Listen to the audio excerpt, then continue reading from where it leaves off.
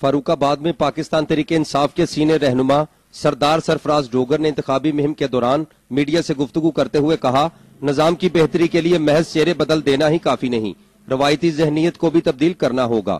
جمہوریت پر مخصوص طبقے کی اجارہ داری کو ختم کر کے عام آدمی کو با اختیار بنایا جائے۔ نون لیگ نے جھوٹے وعدوں اور دل فریب ناروں سے ووٹ حاصل کیے، مگر پانچ سالہ کارکردگی انتہائی مایوس کن رہی۔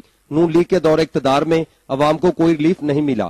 بارود سے زیادہ بھوک نے عوام کو زندہ درگور کر کے رکھ دیا۔ ان کا مزید کہنا تھا، مقروض ملک کا پیسہ وہاں صرف کیا گیا، جہاں اس کی ضرورت نہیں تھی۔ شباز شریف نے پچاسی ارب جنگلہ بس پر خرچ کر دیے، جبکہ پنجاب کے ایک ہزار سکولوں کی حالت نہ گفتہ بے ہے۔ شباز شریف قوم کے پیسے ناکام سکیموں پر خرچ کرنے کی بجائے ایسے شعبوں میں استعمال کرتے، جس سے پاکستان ترقی کی راہ پر گامزن ہوتا۔ عوام مسلم لیگ نون کے طرز حکمرانی سے سخت نالا ہے۔ پاکستان طریق انصاف دو ہزار اٹھارہ کے انتخابات میں تختے رائیونٹ کے در و دیوار ہلا کے رکھ دے گی۔ تختے رائیونٹ کے شہنشاہوں نے عوام کو بنیادی سہولیات سے محروم رکھا۔ پاکستان طریق انصاف اقتدار میں آ کر عوامی فلاح و بہبود پر بھرپور توجہ مرکوز کرے گی۔ عوام کو یقینی طور پر مستفید کرنے کے لیے